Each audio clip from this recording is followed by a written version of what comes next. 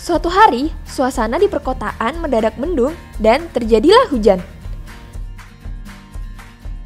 Dalam kondisi tersebut, masih banyak masyarakat yang membuang sampah atau limbah mereka ke sungai. Akhirnya, sampah-sampah tersebut menumpuk dan menjadi habitat atau sarang nyamuk, terutama nyamuk Aedes aegypti. Banyak nyamuk yang mulai bertelur pada tumpukan sampah dan genangan air yang diakibatkan oleh hujan.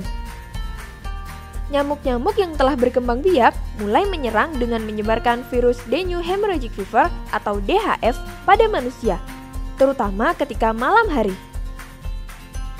Virus itulah yang menyebabkan terjadinya DBD atau demam berdarah dengue dengan memberikan gejala sebagai berikut seperti demam tinggi, sakit kepala, bintik merah di bagian tubuh, nyeri pada bagian belakang mata, dan nyeri di sekujur tubuh.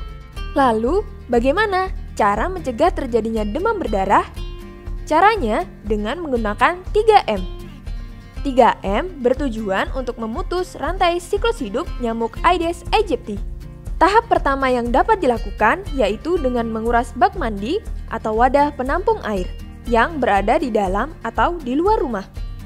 Jangan lupa untuk memastikan bahwa dinding bak mandi atau wadah penampung air telah disikat dengan bersih, sebab dinding-dinding tersebut menjadi salah satu tempat nyamuk untuk berkembang biak.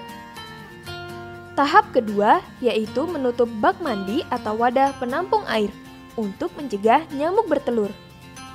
Tahap terakhir yaitu dengan mengubur barang bekas atau barang yang tidak terpakai.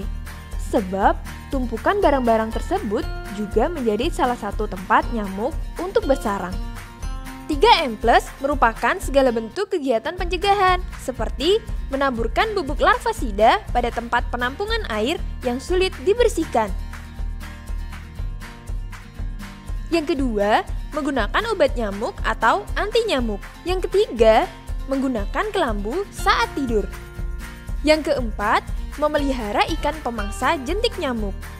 Yang kelima, menanam tanaman pengusir nyamuk. Yang keenam, mengatur cahaya dan ventilasi di dalam rumah.